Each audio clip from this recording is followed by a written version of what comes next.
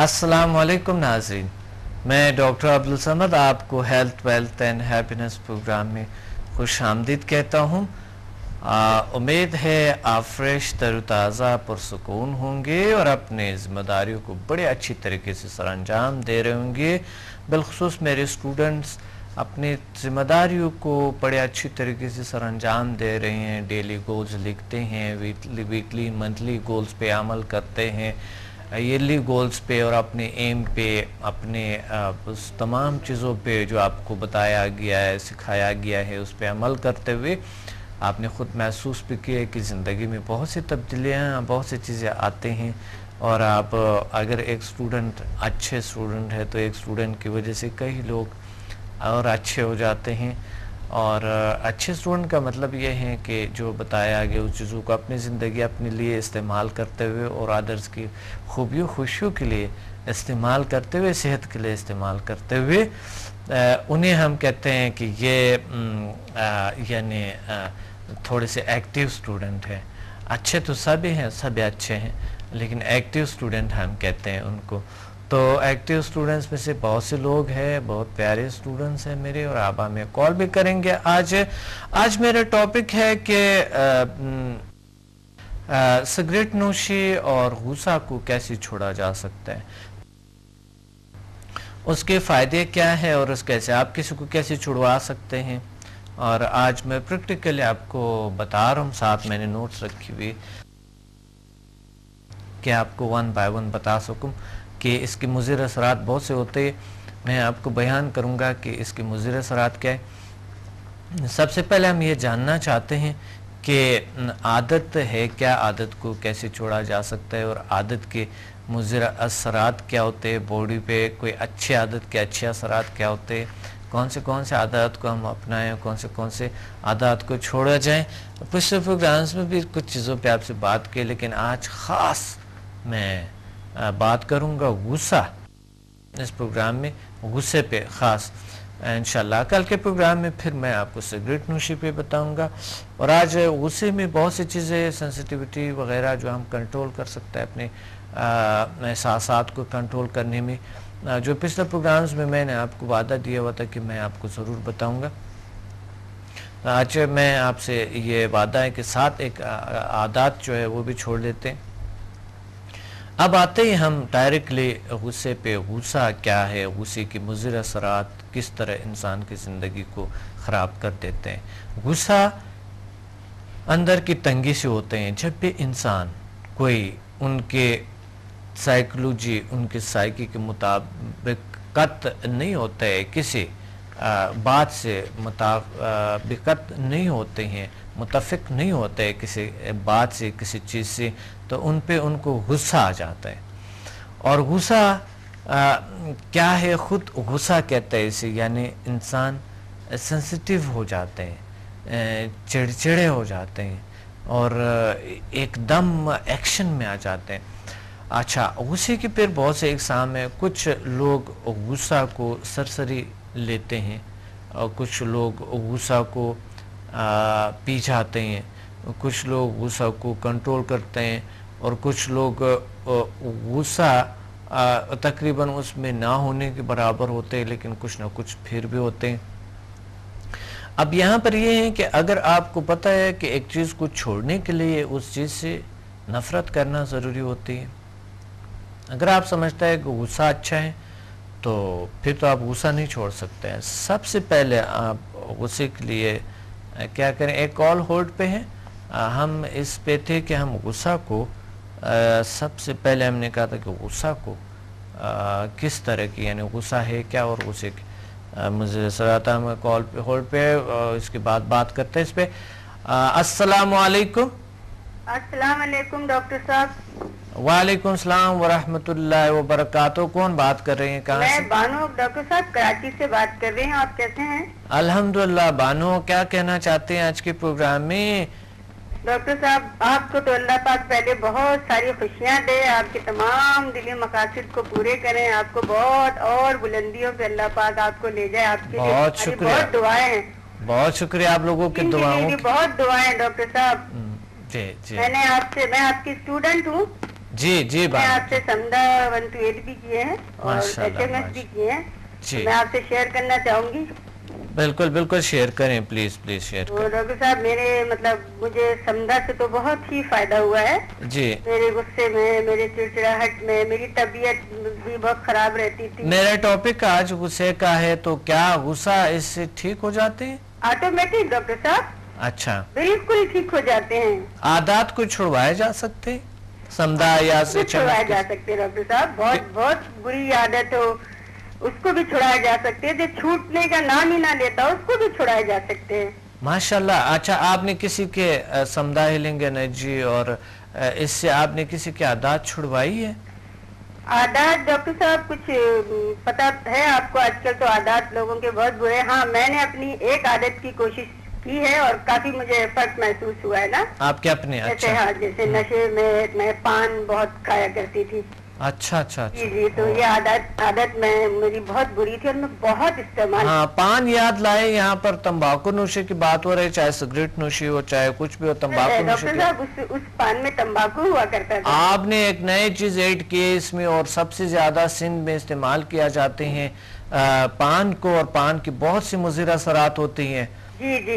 जी। बिल्कुल बिल्कुल कैंसर होते हैं इससे बहुत से बुरे बुरी असर होते हैं इसके। बिल्कुल बहुत सेहत खराब होती है चिड़चिड़ापन भी आता है इससे डॉक्टर साहब नेता दांत हो वो दांत लोगों के मुँह बड़े अजीब लगते हैं कुछ लोगों के काले दांत हो हैं। हम्म, आपके तो नहीं है? मेरे हो गए थे डॉक्टर साहब। अच्छा तो अभी आप लेकिन ये है कि मैं इसको समदा से और एचएनएस से मुझे बहुत कंट्रोल हो गया अच्छा माशा ज़्यादा कंट्रोल हो गया आप बिल्कुल भी छोड़ सकती है। हाँ बिल्कुल बिल्कुल। काफ़ी डॉक्टर साहब जो मैं खाती थी मैं आपको तादाद नहीं बता सकती। बिल्कुल बिल्कुल। बानो आप आ, बिल्कुल आप आप प्रोग्राम देखते रहे और मैं इस टॉपिक पे बात कर रहा हूँ। कि हम किस तरह के आदात को छोड़े और आप टोटली तौर पे भी आप कंट्रोल कर सकते हो डॉक्टर साहब मैं समझे आप छोड़ चुकी हूँ। अच्छा अच्छा माशाल्लाह। तो और एक चीज़ मैं शेयर करूँगी डॉक्टर साहब एच के हवाले से। जी जी बिल्कुल। अ, मेरा भाई है वो यूके में होता है ना? अच्छा अच्छा। और ऐसा दस साल हो गए डॉक्टर साहब उसे यूके में और उसे वहाँ की नेशनलिटी नहीं मिली थी। हम्म हम्म और वो बहुत परेशान बेरोजगार परेशान। हम खुद बहुत परेशान थे उसकी वजह से। हम उसे कहते भी थे तुम आ जाओ। लेकिन वो आता नहीं था। डॉक्टर साहब मैंने जब एच एम एफ़ हाथ से किए तो मैंने उस वक्त से एच एम एफ़ में ये मकसद लिखा अपना हम्म। कि मेरे भाई को जो है वहाँ की नेशनलिटी मिल जाए। माशाल्लाह। डॉक्टर साहब मैंने जो आपसे किए मेरे ख्याल में मुझे दो माह हुए शायद ज़्यादा टाइम नहीं हुआ। जी। तो उसमें मैंने ये ये मकसद अपना रखा और उसको मैं रोज इस्तेमाल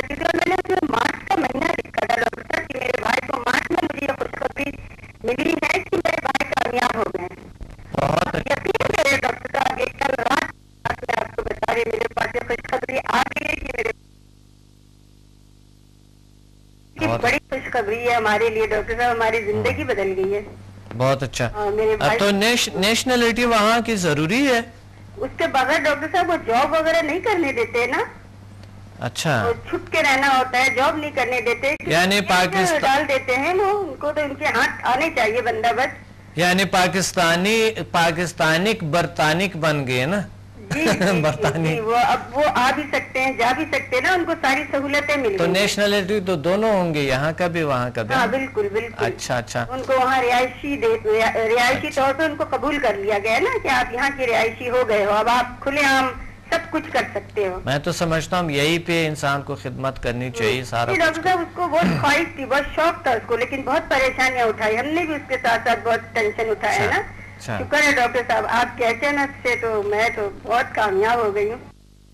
तो- आनो बहुत शुक्रिया आपने कॉल किया क्योंकि कॉल्स ज़्यादातर होल्ड पे है और आज मेरा टॉपिक है क्योंकि मैं बताना चाहता हूँ कि हम किस तरह के गुस्सा और इस चीज़ों को छोड़े वेवर्स को।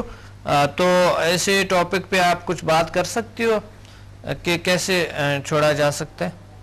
हेलो जी जी मैं इस टॉपिक पे कुछ बात कर ठीक है इंशाल्लाह हम फिर दूसरे किताब आप आपसे फिर इंशाल्लाह बात करेंगे। बहुत शुक्रिया आपने कॉल किए थैंक यू वेरी मच जी आ, हम बात कर रहे थे कि गुस्सा को छोड़ने के आ, आ, सबसे पहले जो है ना गुस्से को छोड़ने के किस तरह वो मुजिर असरात उसके क्या है? ये मैं बताना चाहता हूँ सबसे पहले। गुस्सा को जानना ज़रूरी था कि क्या था? अब सबसे पहले हम गुस्सा को जान ले कि गुस्सा हमारे ज़िंदगी पे कितना बुरे असरात करता है। गुस्से के मुजिर असरात पावर को खो देना इज़्ज़त नफ्स इज़्ज़त नहीं रहते हैं, अहमियत खो देते हैं सोचने समझने की सलाहियत को खो देते हैं इंसान। अच्छाई बुराई का अतराक नहीं रहते हैं। ये भी सही बात है। ऐसा भी खिंचाव होते इंसान को, दबाव, जिसे आप कह सकते हैं अपने फैमिली से दूर हो जाता है इंसान। वाकई घर में बहुत प्रॉब्लम जब भी इंसान कोई गुस्सा करता है, कोई बहुत मुजिर असरात है गुस्से के। जब इंसान गुस्सा करते हैं तो वो गुस्से के मुजिर असरात की वजह से अपने ख़ानदान वाले भी इंसान से दूर रह जाते हैं। तो इस वजह से अच्छा दूसरों दूसरे दूसरों के दिलों में इसके लिए नफ़रत पैदा हो जाती है। हम्म, कभी भी नफ़रत ना लें बहुत बुरी बात है। चिड़चिड़ापन आ जाते हैं। आप इस तरह करें कि एक पेन ले लो और आप लिख लें। एक कागज़ ले लें और आप लिख लें इस चीज़ों को क्योंकि ये बड़ी अहम है, बहुत ज़रूरी है कि आप इसको लिखें और फिर इसके मुजर असरात को जब आपने लिख ले, फिर मैं बताऊँगा आपको कि आप किस तरह के इसको आप देख या रिकॉर्ड करें बेशक। रिकॉर्ड भी कर सकते हैं, या लिख सकते हैं और फिर उसके बाद आप रिकॉर्ड करके लिख सकते हैं। अगर आपके पास नज़दीक पेन या कागज़ नहीं है। अच्छा मैं दोबारा बताना चाहता हूँ गुस्से के मुजर असरात क्या है? आ, आ, पावर खो देना यानी इंसान के वो जो एक तोानाई है वो कम कर देते हैं इंसान की। इज़्ज़त नहीं रहते हैं इज़्ज़त वाकई ऐसे लोगों के इतने नहीं होता है लोगों में ख़ास इज़्ज़त नहीं होता है। अहमियत नहीं होते लोगों को। और सोचने समझने की सलाहियत को कम कर रहा है। आपने देखा है गुस्से की हालत में इंसान बहुत सी चीज़ें भूल जाते हैं। उसका क्या वजह है? क्योंकि गुस्सा एक ऐसी बुरी चीज़ है कि इंसान के असबी और इंसान के दिमागी चीज़ों पे बुरा असर करते हैं। इस वजह से अच्छाई बुराई का अदराक नहीं रहते हैं। हाँ बिल्कुल सही बिल्कुल सही। और आसाबी खिंचाव जो है ना वो होते अपने फैमिली से दूर हो जाती हैं। ये भी सही है। बहुत सी प्रॉब्लम्स होती है आपको। आ, आ, मैं मैं एक खातून को जानता हूँ, जो उन्होंने एक दिन कहा था कि मेरा जो हस्बैंड है, वो ये है और ऐसा है, पता नहीं क्या है। तो मैंने कहा कि क्या आपके पास कोई सबूत इसकी है? कहते हैं, नहीं, औरत के आँख बहुत तेज़ होते हैं, समझ आ जाते तो मैं उस, वो शख्स जो था, एक उसके स्टेप मदर थी और दूसरे जो माँ थी उनके सुथीली माँ थे उनसे उनका बेटी जो उनके बहन बनते थे उनसे मिलता ये ट्रू बात। है और फिर वो हुआ ये था कि उससे मिलते हुए इनको शक था कि शायद ये कोई और औरत है। कभी कभी चुपके से मिल जाता क्योंकि इनकी दूसरी मादर को पता नहीं था कि वो हमारे कोई दूसरी जो मेरी दूसरी भी कोई आ, वो क्या कहते हैं है कि मेरे हस्बैंड ने दूसरी शादी की। तो गलती से हो गए थे कोई ऐसा कुछ था उसमें। वो औरत जो है ना उस पर शक करने लगे, उसकी वजह से उसने तलाक भी ले ली। पता ही नहीं था वजह क्या था। वजह हस्बैंड को पता नहीं था। तलाक होने के बाद पता चल गया कि ये तो जो मिलता है, ये तो उनकी बहन थी। तो ये मैंने कहा था, फिर मैंने कहा था आप वो आइए रोई, रोते हुए कहते हैं, मेरा हस्बैंड बहुत अच्छा है, ये वो, आप कुछ ऐसा कुछ करे, हमारे, ये हो जाए, वो हो जाए। मैंने कहा था कि आपके पास कोई सबूत नहीं था, आपने क्यों ऐसे शक किया था? आपके कैसे आंक थे? कितना गलत आंक थे कि आपके तेज़ होते? इसी तरह यानी अपने फैमिली से दूर हो जाते हैं ये बड़ा एहतियात करें। आप इस तरह मर्द हजरात होते हैं, बहुत से घर में आकर गुस्सा, बाहर अच्छे होता है दोस्तों के साथ, जो हस्बैंड घर में आ जाता है तो बड़े अजीब सा कैफियत होते हैं उनका। एकदम जैसे घर में घुस जाते हैं ऐसे हो जाते हैं। ये कौन से इंसानियत है या कुछ और इससे क्या घर में कोई वो नहीं आते?